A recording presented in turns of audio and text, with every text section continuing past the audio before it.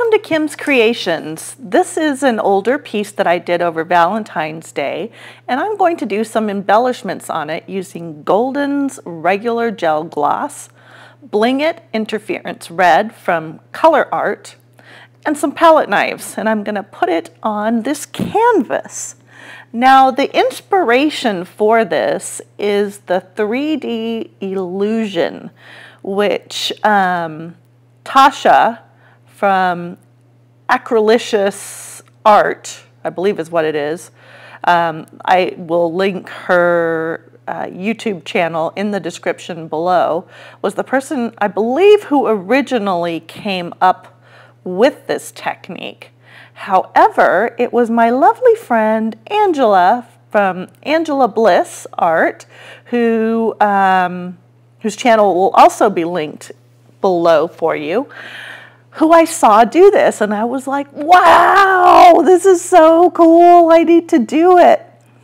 And I will do this piece again because this turned out not at all like either one of their pieces.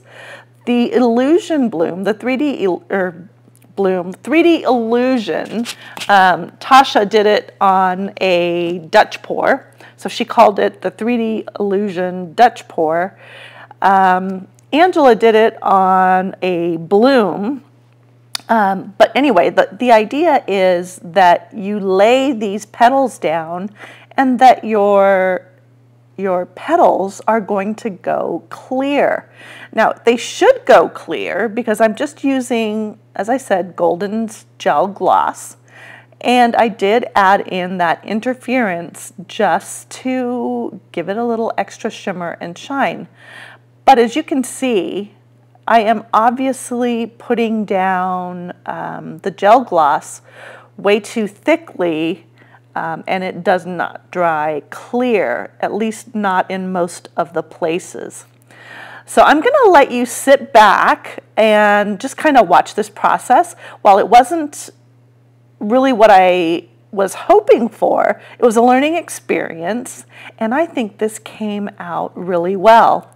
And, um, you know, if I just look at it from the perspective of it being an embellished piece, I love it.